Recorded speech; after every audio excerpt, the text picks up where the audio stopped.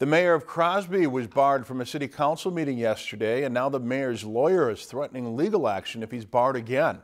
Mayor Jim Hunter was recently arrested and charged with several felonies relating to the 2016 sale of his business. The charges include felony theft by swindle and felony receiving stolen property. Hunter and his attorney, Ed Shaw, say it was a legitimate deal. Hunter was barred from the council meeting yesterday because what the city calls a conflict of interest.